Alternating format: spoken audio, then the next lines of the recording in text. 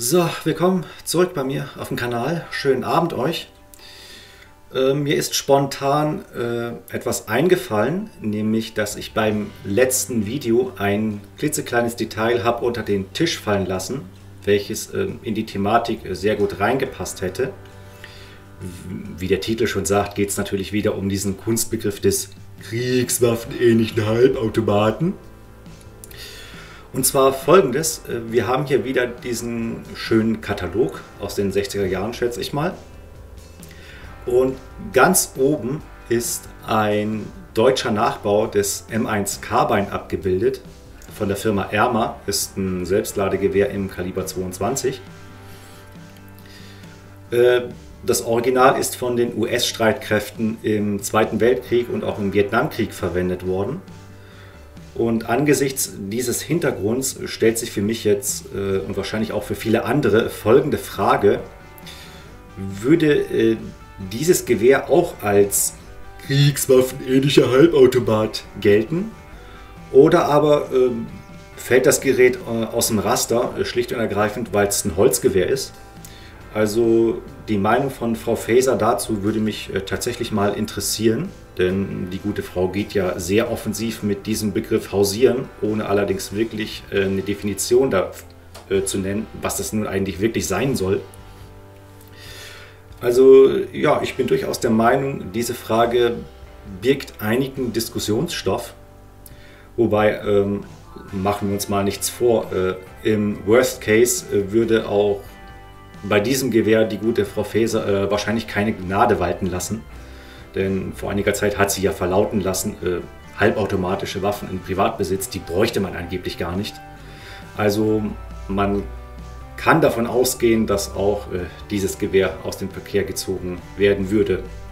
Aber wie gesagt, die, äh, ja, die grundsätzliche Frage, die würde mich wirklich mal interessieren. Dann haben wir hier noch eine Geschichte, die auch sehr gut in so eine Diskussion passt. Ähm, wir haben hier drei Ruger 1022. Ist auch ein Selbstladegewehr in Kleinkaliber.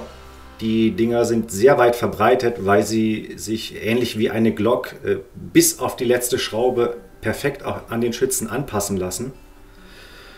Oben seht ihr das Grundmodell und die beiden unteren Exemplare haben einen Austauschschaft. Und die zwei Gewehre unten, die wollen jetzt die Waffengegner und Leute wie Frau Faeser äh, ganz schnell aus dem Verkehr gezogen haben. Einfach nur, weil sie so böse aussehen. Übrigens äh, nicht nur diese Leute. Bei einem äh, DSB-Zweigverband ist vor einiger Zeit mal eine Disziplin abgeändert worden, sodass äh, solche Schäfte wie der ganz unten dort auch nicht mehr benutzt werden dürfen.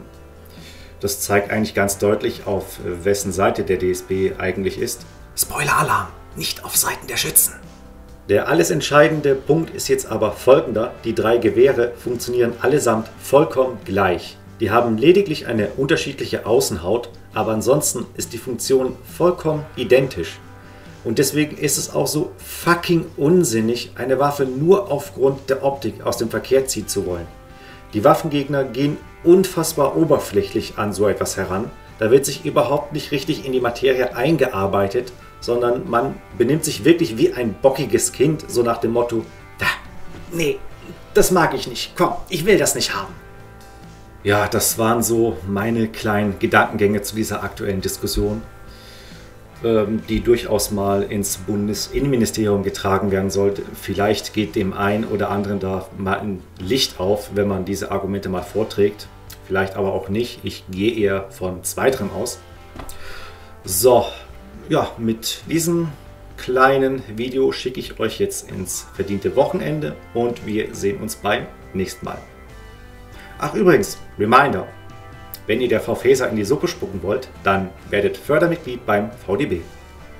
Wir sehen uns.